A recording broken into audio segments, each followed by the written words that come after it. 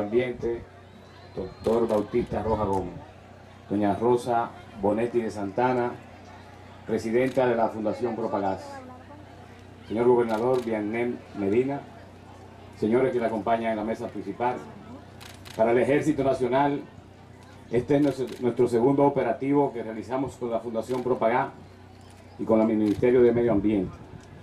Es de gran beneficio para nosotros nuestros planes sociales que estamos desarrollando en todas las ciudades fronterizas.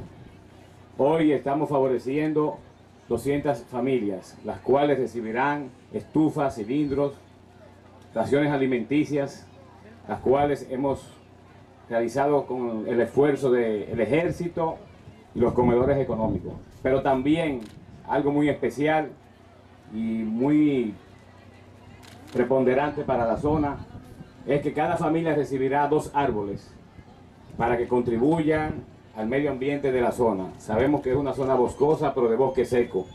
Por eso queremos llevar de la mano, porque el Ejército Nacional, como una de las misiones principales, es defender nuestra soberanía y la frontera es nuestra misión principal.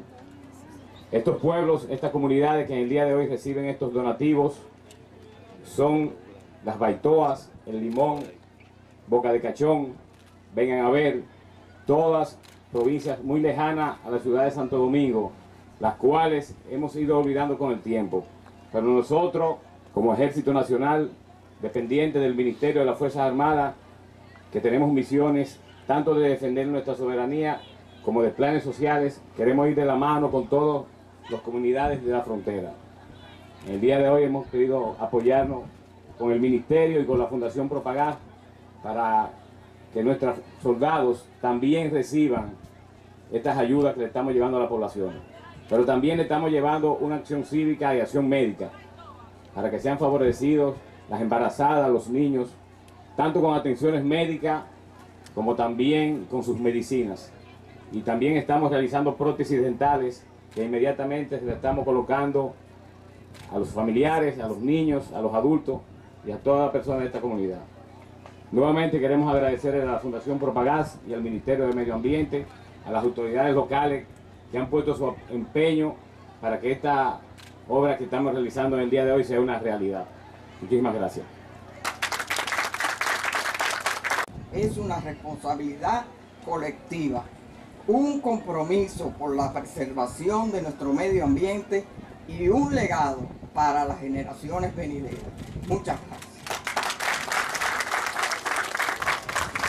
Vamos a tener una población con menos asma porque será una población menos agredida por el consumo de un combustible que genera humo, genera residuos que afectan vías respiratorias altas y bajas y finalmente que afectan de manera directa al pulmón.